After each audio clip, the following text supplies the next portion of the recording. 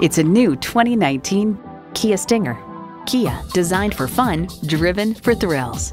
It comes with all the amenities you need automatic transmission, gas pressurized shocks, engine auto stop start feature, aluminum wheels, streaming audio, power heated mirrors, front heated leather bucket seats, external memory control, leather steering wheel, wireless phone connectivity, and turbo inline four cylinder engine.